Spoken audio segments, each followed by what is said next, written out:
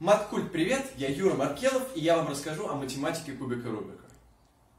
Сколько всего позиций? Из любой позиции можно собрать за 18 ходов. Всегда ли мы вернемся в изначальное положение, если будем повторять одну операцию много раз? Существует ли комбинация, повторяя которую однажды соберешь кубик, в каком бы изначальном положении он ни был? Но этот кубик слишком мал, чтобы на нем показывать. Вот, вот это уже дело.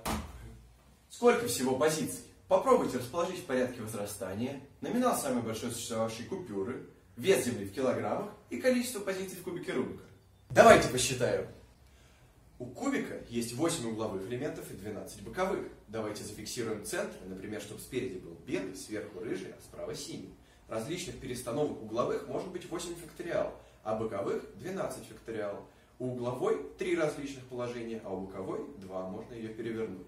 Значит, каждой расстановке добавляется кручение каждого уголка и боковушки. То есть надо еще домножить на 2 в 12 и 3 в 8.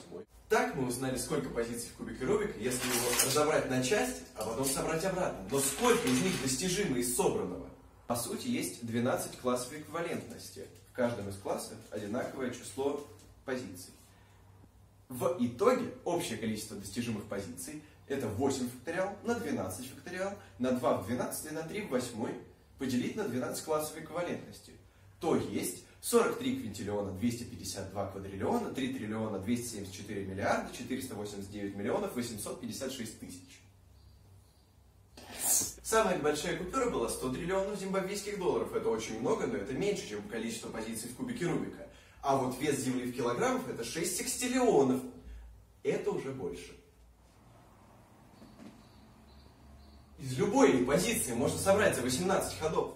Давайте докажем, что есть позиция кубика Рубика, которую нельзя собрать за 18 ходов. Ходом мы считаем поворот одной из граней по или против часовой стрелки. Хорошо. Заметим, что за один ход от изначального кубика мы можем собрать 12 различных позиций. За два хода не более чем 12 в квадрате и так далее. Ровно вот за 18 не более чем 12 в 18. Тогда всего за не более чем 18 ходов мы можем собрать не более чем 1 плюс 12, плюс 12 в квадрате, плюс и так далее, плюс 12 в 18.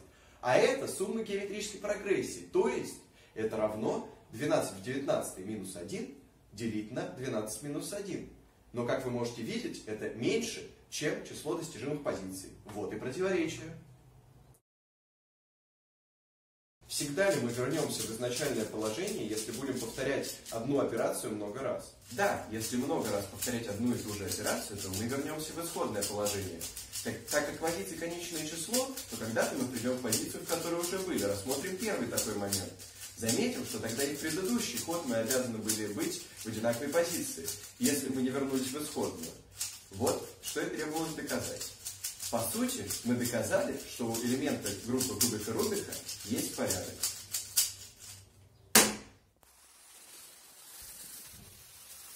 Существует ли комбинация, повторяя которую однажды соберешь кубик, в каком бы изначальном положении он ни был? Нет, не существует.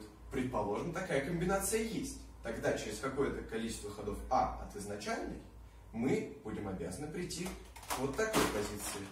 А через какое-то количество ходов B к повернутой верхней грани по часовой стрелке. Но тогда через количество ходов А плюс Б мы будем обязаны прийти и к той, когда повернули сначала правую, а потом верхнюю, и к той, когда повернули сначала верхнюю, но потом правую.